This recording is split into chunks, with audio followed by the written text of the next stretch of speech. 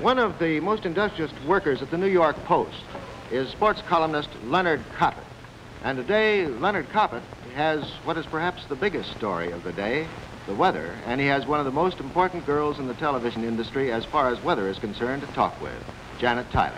Leonard? Uh, Janet, in my business, sports, that is, weather is a constant factor in our minds. It's always a question whether you're going to get rained out or whether you're going to get out of town or into town by air on account of the weather. But I imagine to you it's even more important than that.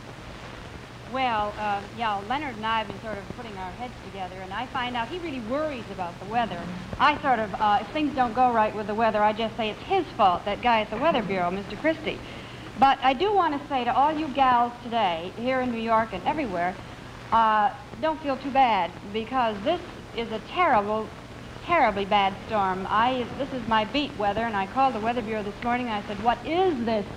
And they said it's a big low in Illinois, so the women in Chicago, Pittsburgh, Detroit, Cleveland, Washington, D.C., way down to the Carolinas are all having the same trouble that we are here. Um, but Leonard and I put our heads together on this subject, and uh, we have weather stories, little oddities. And one thing I've discovered over the years is that certain people think that there should be a weather forecaster in the dugouts at baseball games because of the fact that uh, a pitcher, his ball is uh, dependent on the wind and the humidity and all kinds of things like that. And Leonard had an interesting answer. I well, think. that's it's true that all these things are factors. The only reason I don't think a lot of weather forecasters are going to get jobs out of it is that baseball players know this from the time they're about four years old when they start playing ball. Instead of looking at a lot of barometers and other scientific instruments, Yogi just goes out to the mound and says, don't throw the curve no more. Yeah. Because it isn't working today.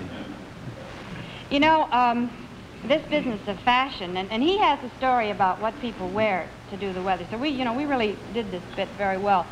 I was kind of fascinated to find out what the gals used to do about at the turn of the century, you know, to give you an old-fashioned Easter story.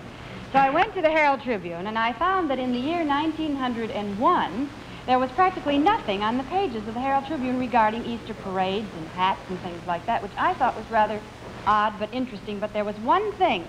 James McCutcheon Company had an ad for a nine, uh, linen mesh underwear to be worn in the spring to keep you warm against the alternating cold and warm air. And that's about all they did about wearing clothes in those days, apparently. If they did, they didn't talk about it or write about it much.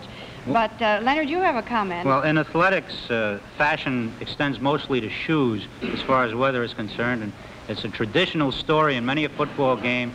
Uh, the most famous one in 1934 between the Giants and the Chicago Bears, in which the team came out on a muddy field for the second half wearing sneakers instead of cleats and roared on to victory because the other team was falling down in the mud.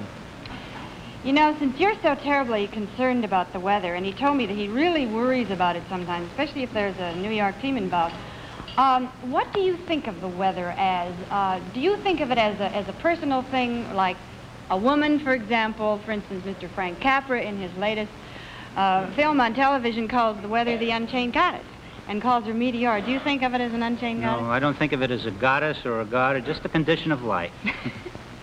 well, and something to talk about. It sure is something to talk about. Thank you very much, Leonard, and it's been a pleasure being here. Well, with all the construction going on here in New York,